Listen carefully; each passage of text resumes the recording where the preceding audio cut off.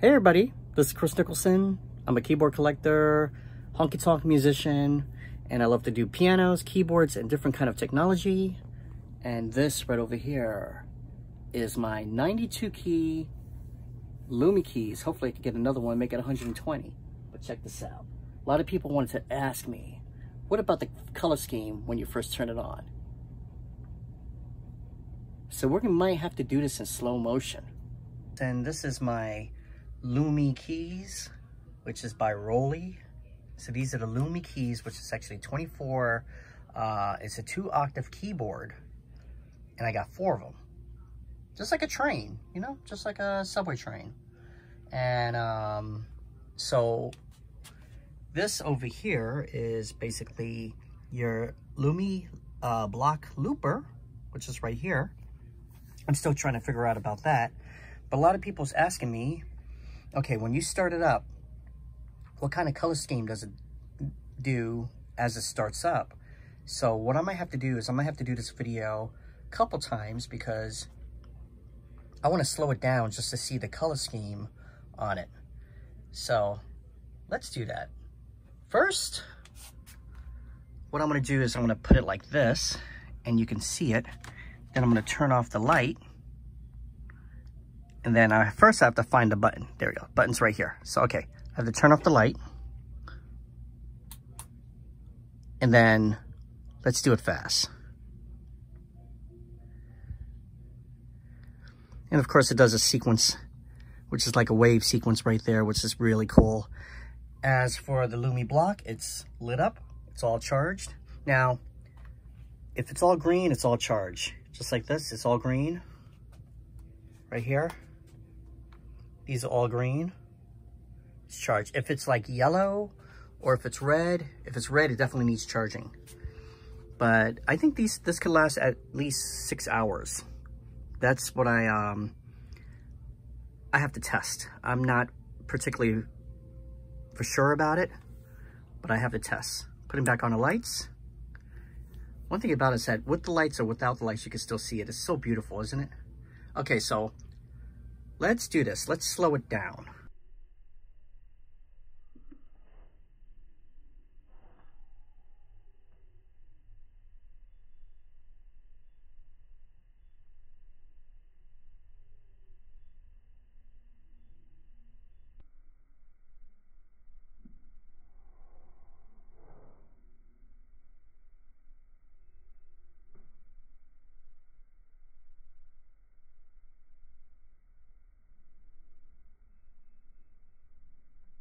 All right, so let's just try one and see how the color scheme is.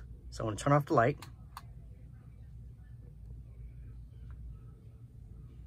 Not bad.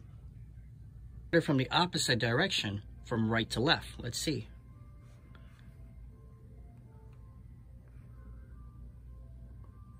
Hmm, it's nice. How about starting it from the middle? Let's try that.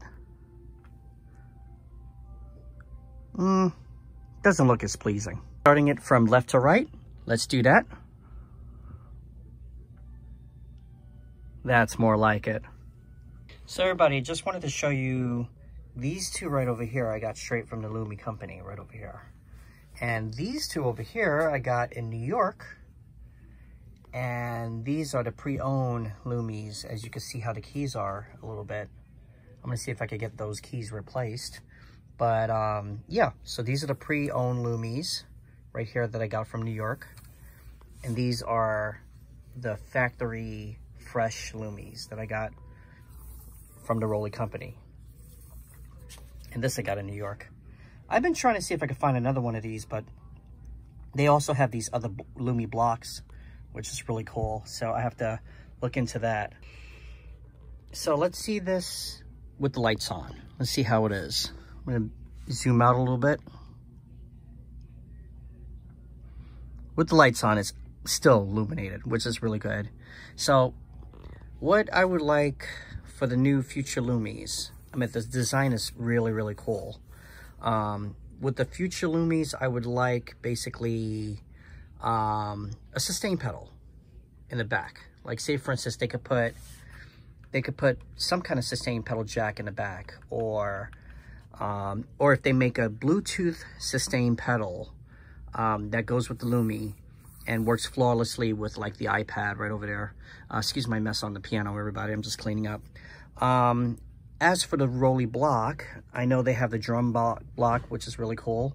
But what I suggest is if they have two, um, like just like this or something like that, two um, ribbon strips, one for pitch bend and modulation if you don't want to do it on here. So you could do the pitch bend modulation on here too, but just in case if you decide you don't want to do it on there, you have another extra block for that. Pitch, pitch bend modulation, and um, this thing is modular, so you can have volume, you can have different color schemes on it, and it's really cool. You see in the back, this is how it looks. All side by side, all magnetically, magnetically uh, connected. Um, and it's just a regular board, which I'm using part of my stand for my Yamaha right there. And um, honestly, 92 keys, can't go wrong. Just gotta uh, do a little practice with it because it is does it it doesn't feel weird to play on. It's just um, it's a little bit smaller, you know.